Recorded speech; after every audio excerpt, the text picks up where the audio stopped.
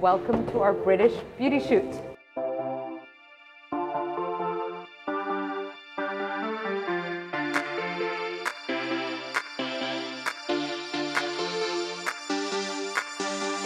This is where the makeup magic happens, led by Neil Young, who is absolutely major, who does a lot of backstage work, and so that's where I know him from. And literally, he's giving everybody, I mean, just look how gorgeous.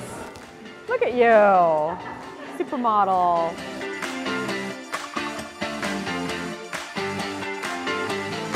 When you saw the casting call, what was it that made you enter? I think truly your description on your Instagram post, um, because I think everyone sort of has a different look on beauty and what it should be, um, but everyone's beautiful.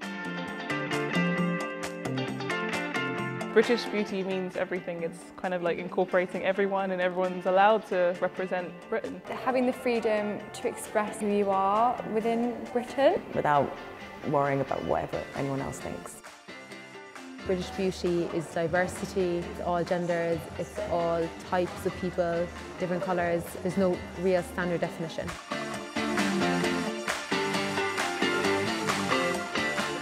On set, obviously different coloramas, different lighting. We're changing the lighting for every look.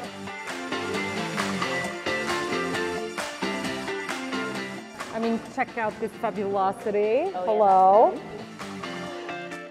so far, it's looking phenomenal. So much more gorgeous than even I had imagined. We had really high hopes for this shoot. We've got a ton of really experimental, creative ideas.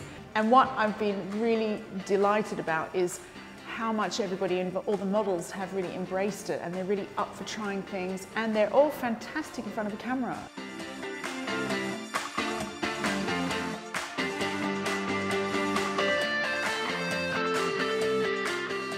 Was so fun, like everything, like getting my makeup done, hair.